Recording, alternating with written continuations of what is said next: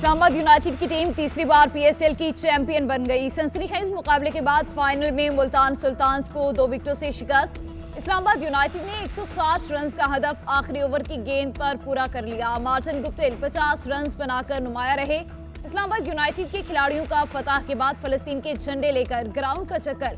फलस्तीनियों के हक में खिलाड़ियों और शायकीन की नारेबाजी मैच जीतने पर वज़ीर आज़म शहबाज शरीफ की इस्लामाबाद यूनाइटेड को मुबारकबाद।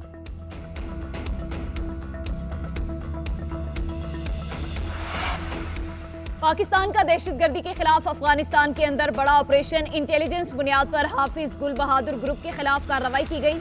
दहशतगर्दों और उनके ठिकानों को निशाना बनाया गया। तर्जुमान दफ्तर खारिजा का कहना है, हाफिज गुल बहादुर ग्रुप टीटीपी के साथ मिलकर पाकिस्तान में दहशतगर्दी की कार्रवाइयों में मुलविस है।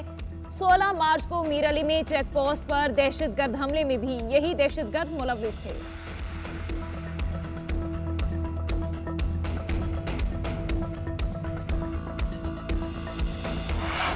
आईएमएफ के साथ मुजाकरात मुकम्मल ना हो सके। मुआशी टीम नए कर्ज प्रोग्राम पर आज फिर मुख्तर मुजाकरात करेगी। जराये के मुताबिक लेटर ऑफ़ इंटेंट पर मुशावरत मुकम्मल होने के बाद माहदे की तरफ़ पेशरफ हो सकती है।